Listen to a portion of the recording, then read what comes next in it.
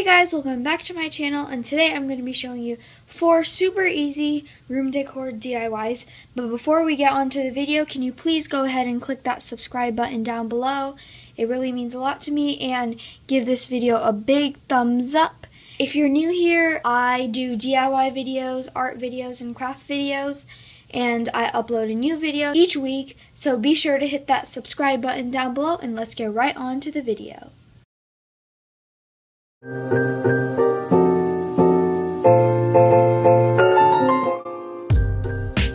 the first DIY I'm going to show you how to make is this abstract kind of balloon sketch. And so the materials you're going to need is some paper. I'm just using this paper from my sketchbook and a Sharpie. I have a double-sided one, but that does not matter. And let's get on to the DIY. So we're just gonna take our piece of paper and we're going to be taking our Sharpie and I'm gonna start by drawing a line from end to end, just like a sort of squiggly line. It doesn't matter, it's not important. So I'm just gonna freehand it.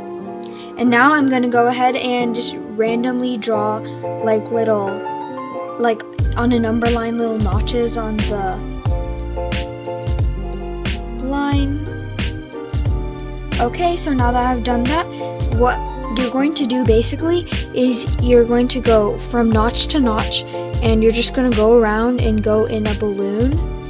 And you can go, the thing about this is you can do how much ever you want and it's really to whatever you want to do. It can be whatever. It can be thin, thick, long, short. So I'm just going to go ahead and do the rest of this and then I'll show you what else to do.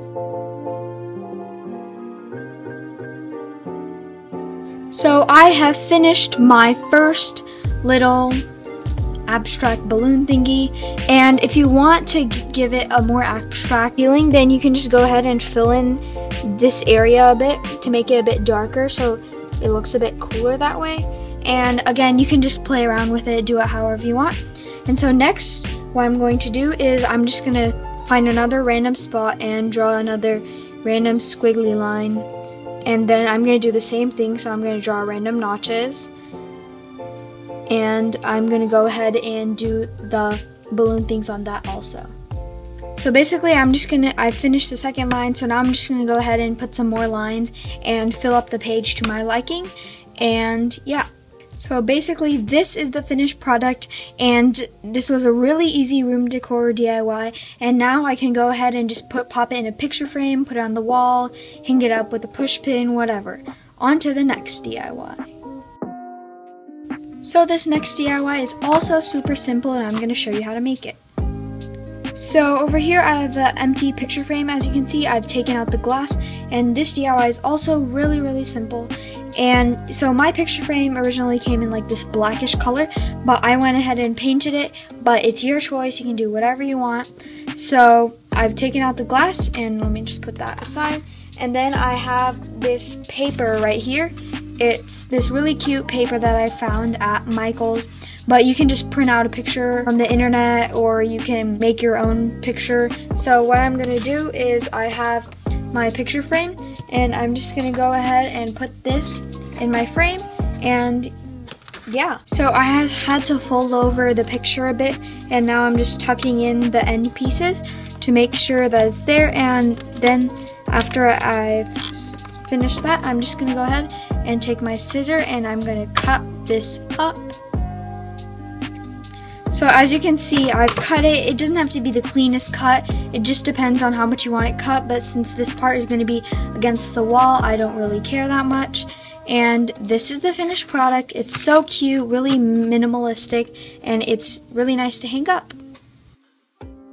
So for the third DIY, we're going to be needing a canvas, a paintbrush, some masking tape, and some paint. I chose these four colors. You can use any color of your choice. It doesn't really matter. So let's get on to the DIY. So this is what the finished product is going to look like. This is just in different colors I did, but it's just kind of giving you an overview of what's going to look like. So to start, I'm going to take my canvas and my masking tape, and I'm going to go ahead and put the masking tape all around the corners of the canvas.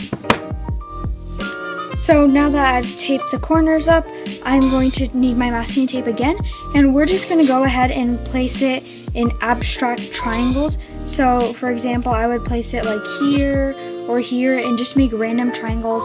I'll show you what that looks like when it's finished. So this is what it looks like. I opted to go for a bit bigger shapes because that's how I want it to look, but you can use smaller masking tape, you can make smaller shapes. It's just, just personalize it to however you want.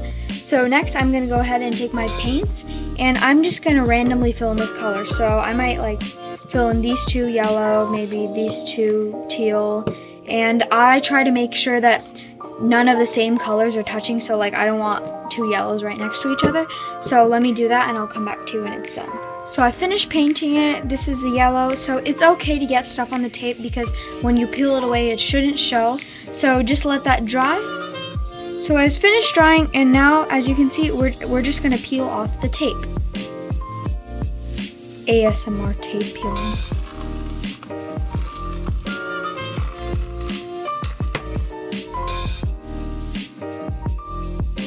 And there you go. As you can see, the end result is pretty cool. You can notice here that I didn't press the tape down hard enough, so the paint bled through a bit, but that's okay. I'll just cover it up with some white paint. But it looks pretty cool, and if you hang it up on the wall, no one would even know that you made it. And so it's really cool, like geometric vibe. So on to the last DIY. So this last DIY is a super cute boho wall hanging. And what you're gonna need is a wooden stick. So I have this wooden stick right here.